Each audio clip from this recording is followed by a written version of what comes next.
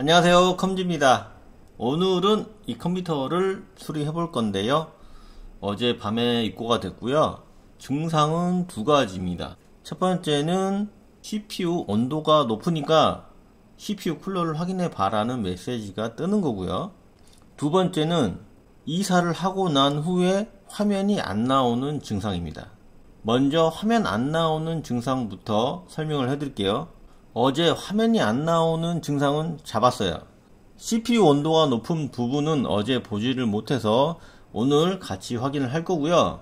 화면이 안 나오는 증상은 왜 그랬냐면 먼저 이 보드에는 EZ debug LED가 있습니다. 여기에 EZ LED debug가 있는데 켜보니까 이 VGA에 불이 들어와서 멈춰 있더라고요. 그래서 그래픽카드 쪽을 먼저 봤는데 원인은 이거였습니다. 잘 보세요.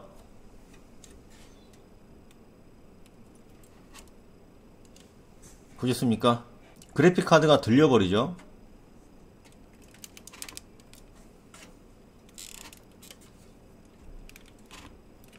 이렇게 그래픽 카드가 빠져버려서 화면이 안 나왔었고요. 그래픽 카드를 빼서 보여드리겠습니다.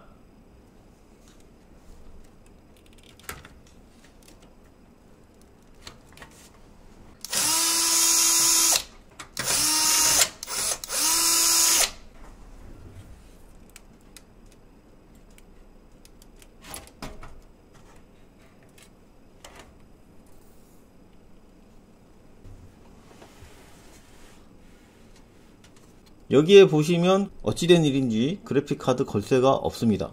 혹시 본체에 돌아다니는지 확인해 봤는데 이 본체 안에는 이 걸쇠의 잔해가 없었습니다. 처음부터 빠져서 온지는 모르겠는데 일단 본체 안에 빠진 걸쇠가 없었어요. 그래서 그래픽 카드가 들렸었던 거고요. 그래서 이 걸쇠를 다른 PCI 슬롯에서 빼서 쓰려고 봤더니 이 보드는 PCI 슬롯이 하나밖에 없더라고요.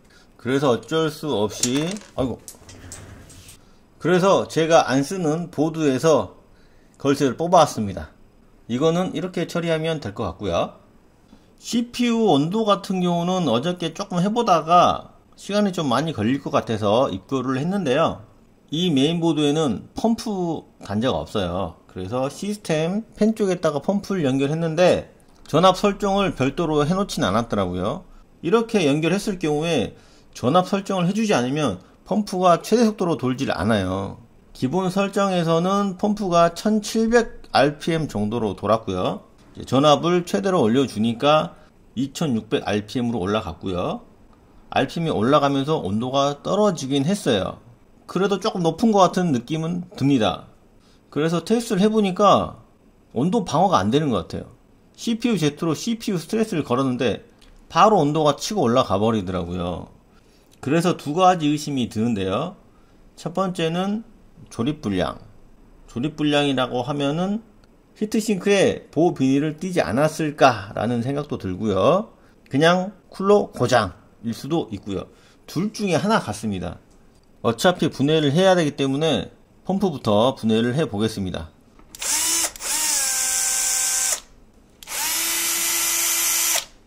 조립 불량이 차라리 낫지 않을까 이런 생각은 듭니다. 한번 같이 보시죠. 조립이 잘 되어 있는지.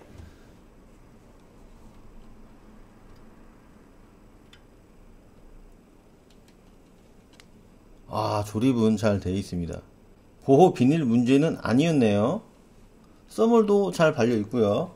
이러면 쿨러 고장일 확률이 굉장히 높아집니다. 이거는 쿨러를 교체해서 테스트 해봐야 할 것 같습니다. 구독과 좋아요 눌러주세요. 혹시 몰라서 써멀 제도포를 해봤는데 똑같더라고요. 쿨러 고장으로 의심돼서 시리얼시스 RC1700으로 교체해서 테스트를 해봤더니 아이들 온도부터 다르더라고요. 아까는 아이들 온도가 40도대였는데 쿨러를 바꾸고 나니까 20도대 나오고요.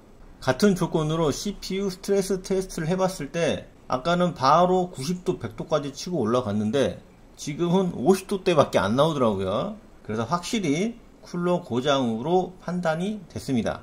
원래 이 컴퓨터는 구입하신 지 5개월밖에 되지 않았어요. 근데 인터넷으로 구입하셔가지고 저한테 하면은 공임비가 들고 구입한 곳으로 보내면 공임비가 안 된다는 설명을 드렸는데요. 다음날 바로 컴퓨터로 작업을 해야 된다고 하셔가지고 제가 맡기로 했으니까 그 부분 오해 없으셨으면 좋겠고요. 일단 쿨러는 제가 임대를 해드려서 사용할 수 있게 해드린 다음에 수냉 쿨러는 맥스 엘리트로 보내서 서비스 받은 다음에 다시 교체해드리면 될 것 같습니다.